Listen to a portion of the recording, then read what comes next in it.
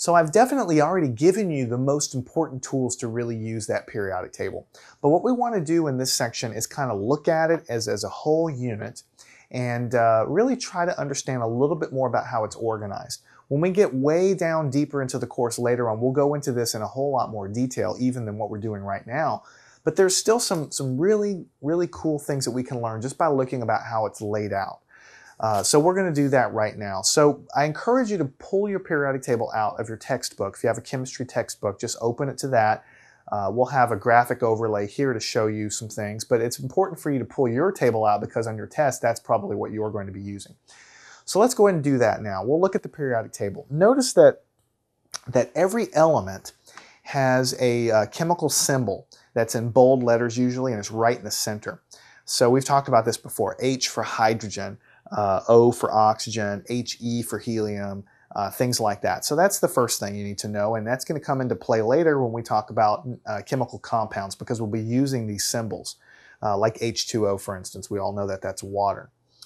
Uh, okay, after that, most periodic tables, if you look just above that uh, chemical symbol, you will see a number, and that number is the atomic number. That's the number of protons in the nucleus of this atom or this element. And we've talked about that over and over again, that every element on the periodic table has a unique number of protons inside the nucleus, and that determines what element you're looking at.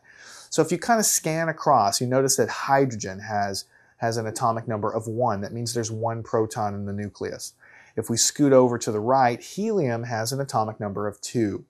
Uh, and, and so on and so on. We could go down the way. We could see that uh, carbon has an atomic number of six and oxygen has an atomic number of 8, for instance. So it's telling you at a glance how many protons you have in the nucleus.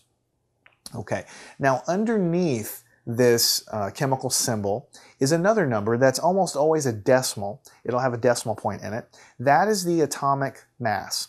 If you have a very old chemistry book, an older chemistry book, you might see it called atomic weight.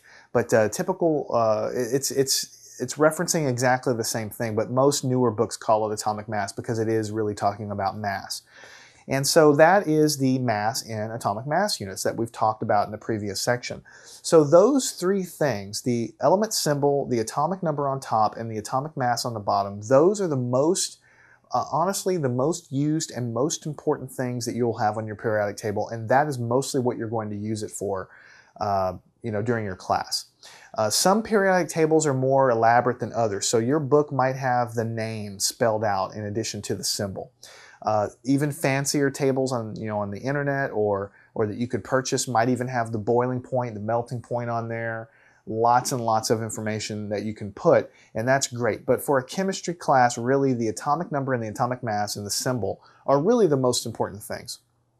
Now, if you back out and zoom out on your periodic table and just kind of look at the whole thing, it has kind of a weird looking shape to it. And that's the first thing that strikes everybody when we start studying this stuff is that you, you think of a table as a nice rectangular thing, but the periodic table is kind of has these jagged edges everywhere and there's holes in it and it doesn't make a lot of sense. Now, we're not going to get into all of the theory why that's the case, um, but there is a theory behind it, and we'll get into it later, and it has to do with the way the atoms are constructed. But by and large, if you start on the upper left, you'll see the atomic number of 1. And then if you skip all the way over to helium on the right, you'll see atomic number of 2.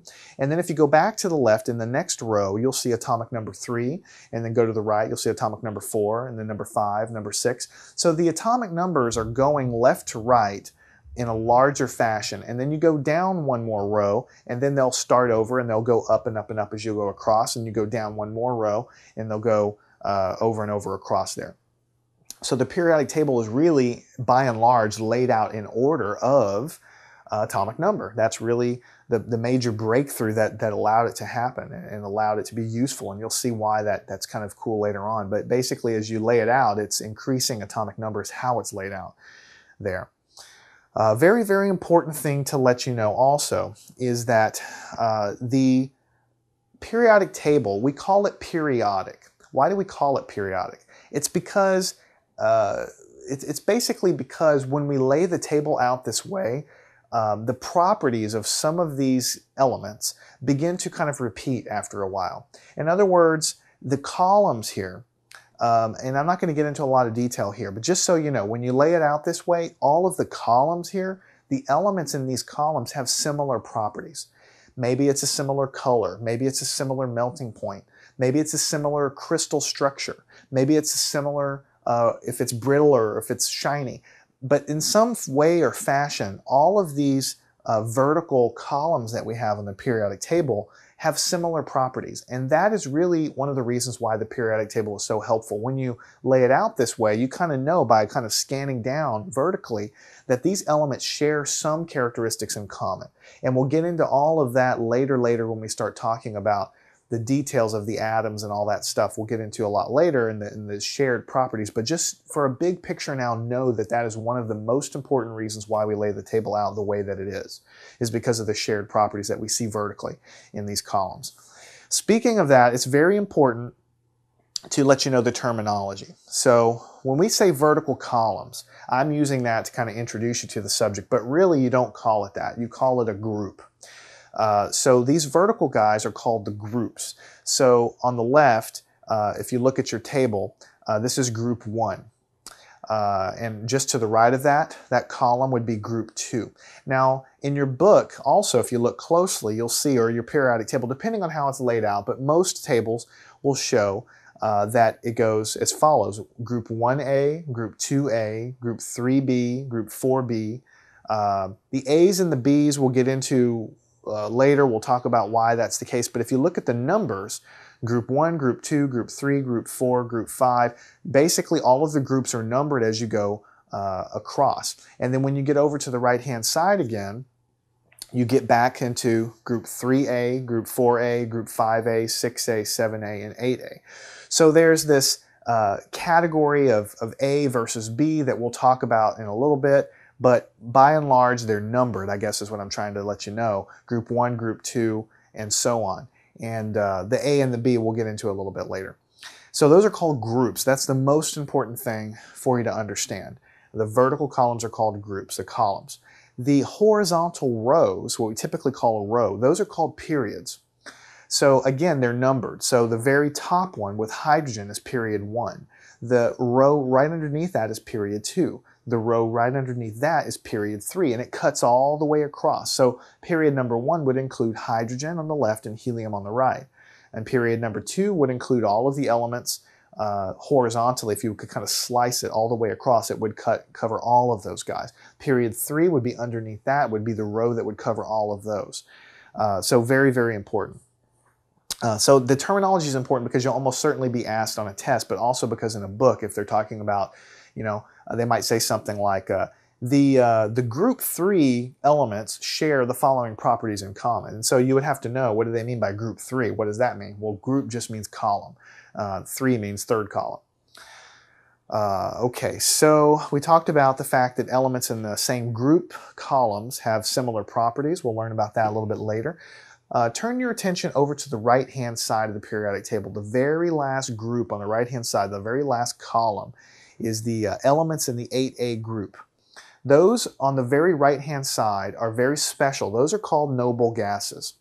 The reason they're called noble is because they're very stable. And I guess noble, you think of nobility being uh, very, uh, you know, having a lot of solitude and, and not very, uh, I don't know, very, maybe not very pleasant to hang around with. Basically, these gases are not very pleasant to react with. They don't react, or they very, very seldom react. So these elements in, in the right-hand column, such as helium, uh, neon, you know, you might see neon in a neon sign, uh, argon, krypton, xenon, radon. These guys on the right-hand side, they are called the noble gases. Uh, so if you see in your book uh, something referred to as a noble gas, don't don't worry about it. It's just basically they're just telling you and reminding you that it's one of those gases in the right-hand column. I want you to file it away in your brain that none of these gases really react because uh, because there's a there's something very important about that that I'll get to later. I don't want to tell you right now because it'll just confuse things. But when we talk about um, producing chemical compounds, that comes into play. These guys on the right, they just don't really do much. You can't really get them to react uh, uh, with, with much of anything. Okay, now notice in your periodic table that there's a squiggly zigzag line on the right-hand side. So the periodic table, when you lay it out this way, uh, it turns out that you can kind of classify the table in two broad, really three broad um, categories, right? On the left of this zigzag line, off to the left, most of these guys in the center of the table and off to the left there, they're what we call metals. And it's just kind of like what you would think of. This is where you're going to find your copper, you'll find your zinc, you'll find your aluminum, uh, things like that. Uh, those are the elements that are malleable, which means you can bend them. They're, they're ductile, which means you can you can draw them into a wire. Most of them conduct electricity. Most of them conduct heat very well. They have a luster to them, which means they're kind of shiny. Those are the things on the left-hand side. Now, the big exception to this, the one that you just have to put a giant asterisk about around, is hydrogen on the, on the upper left-hand side. Hydrogen is obviously not a metal. But the reason it's placed there is, is way beyond the scope of this section. There's a theory to why it goes there. Metal, uh, hydrogen is very special and it does go there, but it is not a metal. So with, with, except, uh, with the exception of hydrogen, these other guys on the left are in general going to be shiny, luster, conduct electricity uh, in general. And we call them metals. All right, so if you, if you hear something in your book referred to as a metal, it doesn't necessarily mean copper in specific. It just means anything on the left-hand side of the periodic table, as we generally call a metal. Now, on the right-hand side of this zigzag line, you might guess if the left-hand side is metal, then the right-hand side is non-metal. And that's exactly right. Look at the elements on the right-hand side of this zigzag. Things like um, oxygen, nitrogen, uh, helium, those are all gases. They're, they're, they're all the uh, noble gases on the right-hand column. Xenon, krypton, argon, um, those are all gases. So they're obviously not metals. Uh, so on the right-hand side of the zigzag, you might find gases like that. You might also find solids that are definitely non-metallic, like carbon. Carbon is like charcoal. Think of your barbecue pit. That's carbon. Uh, sulfur, it's a yellow powder. Think of the tip of a matchstick as basically sulfur. Those are all brittle powders. They don't conduct electricity. They're not good to draw into a wire. You can't really bend them. They just break if you try to do anything with them. So you're either going to find uh, brittle solids or gases on the right-hand side of that line. So we call them nonmetals. So the most important thing to pull out of this is on the left-hand side of that zigzag, you've got your metals, and on the right-hand side of that zigzag, you've got your nonmetals. The big exception is obviously the hydrogen. It's on the left, but it's a nonmetal. Okay? Now, that's generally true when you get far away from that zigzag line, metals versus nonmetals. But right around the zigzag line, there's some very special elements that we call metalloids, which means they're kind of like in the middle. They're kind of like transitioning from being a metal to a nonmetal, and they basically have properties of metals and nonmetals. So they're kind of like in between uh, those two guys. So they share the properties of metals and nonmetals. The, the most famous one is silicon. Everybody's heard of silicon, and you must, uh, must know by now that silicon is a very special element in the periodic table because all of our computers are made out of silicon. This camera that that we're using right now is electronics inside that are made out of silicon. Silicon's very special because it has very special properties. The reason it has these special properties is because it's it's one of these transition elements right in the middle. It has the ability to conduct electricity in cases when you want it to, but it also has the ability to prevent electricity from being conducted um, you know, whenever you want it to. So you may have heard of the term, we're kind of getting out of the realm of chemistry, but I'll just tell you, uh, you might have heard of the term semiconductor, you know, like the semiconductor industry or a semiconductor chip or an, or an, or an integrated circuit chip semiconductor. That's what semiconductor means. You can get it to conduct electricity quite well if you build the circuit a certain way. You can also uh, change the properties very slightly and get it to not conduct any electricity, which is great for making very high speed switches inside of a chip, which is how your computer basically operates. So silicon is a transition guy, it's a metalloid, very important. Germanium is also another one. Uh, we also make uh, very, very high performance uh, circuits out of germanium uh, also. So, so those guys are, are there's other examples we could list there, but just think about it this way. The metals are on the left-hand side of the zigzag. Non-metals are on the right-hand side of the zigzag. Just around the zigzag, we have these metalloids that kind of have properties of both, and that's really important. Uh, now, the other thing I want to draw your attention to is that notice the way it's laid out. There, there's giant gaps in the table. Now look at the gap in, in uh, period one. Remember, period is a row. So period one, you've got hydrogen and then you've got helium, and there's a giant gap in the middle. Um, notice if you go down to period two, there's there's a couple elements and there's a giant gap and then there's more elements over there uh, on the right hand side. And the same sort of thing happens until you get down into the body of the table. Then you start having the table filled up with all of your nice metals like zinc and copper and the heavy elements down there.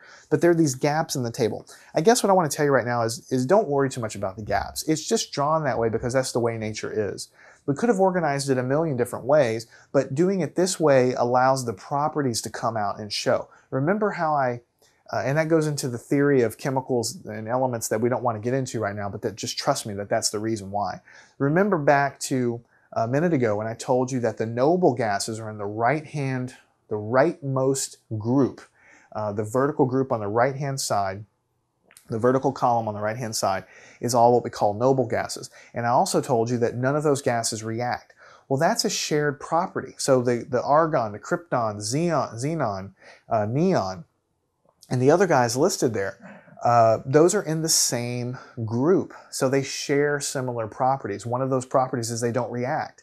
So if we were to write the table in a different way and just kind of go and make a table of, of values and just list them, yeah, we could we could put them in order of atomic number, but but it wouldn't bring out the shared property. So putting doing it this way, scientists have have uh, have arranged it so that these vertical groups share similar properties among the elements, which is really, really important. But the artifact to that is that it's, it's kind of like an odd looking table. It has this hole in the middle and that kind of thing. The other thing is if you look down to period six and seven down there the, near the bottom of the table, there's a little gap drawn with like uh, two extra really long rows uh, there that are that are kind of wedged in there. The top one is called the uh, lanthanide series, and then there's also the uh, actinide series. And those are just uh, again, there you we could have drawn the table with those guys wedged in there, but then it would have spread out the table even more, so it wouldn't really fit in a book really well and it would just kind of make it even more gnarly than it already looks with kind of holes and pockets everywhere. So the only reason that those are separate down at the bottom, it's not because they're really special too much. It's not really because they're this amazing set of chemical you know, elements that we kind of separate. It's just mainly because we don't want to spread those two uh, uh, periods out and kind of create these gaps in all the other periods, basically more than what we've already got. So that's about it for the periodic table. It's a uh, basically going to be your best friend on your exams and uh, you need to know how to, how to get around it. We're going to learn a lot more about it as we go through it and you'll get comfortable with it as you start using it on a daily basis to do your problems. But most important thing is to realize that you've got your chemical element um, uh, symbol, you've got the atomic mass above it, you've got the atomic, uh, I'm sorry, you've got the atomic number above it and you've got the atomic mass below it. And those are the main things you need to know. They've got the metals on the left of the zigzag line. You've got your non-metals on the right of the zigzag line. You've got your uh, metalloids that are around the zigzag line, kind of in the transition region there. In the far right-hand column, you've got your noble gases, which are like your perfect gases, and they just basically don't want to react with anybody. And I'll just give you a preview. The reason they don't want to react is because their electrons are all filled up nicely and neatly in all of the little orbits and none of those electrons want to do anything. They don't want to go join anybody else and they don't want anybody else to come to the party. They're perfectly organized in their in their orbits. And so basically the uh, chemical reactions typically happen because the electrons want to move around and jump around from element to element and form new things. But for those noble gases, those electrons are perfectly happy because they're already filled in their nice neat orbits and, and we'll get into it later. But basically, that's the reason why they don't want to move around. So they don't really react with anybody. You could try to burn argon if you wanted, but nothing's going to happen. Uh, I'm Jason with MathTutorDVD.com. I hope this section has um, given you a little bit of an overview to the periodic table. We'll continue to learn more about it, and we'll definitely be using it in uh, every section from here on out. Learn anything at mathandscience.com.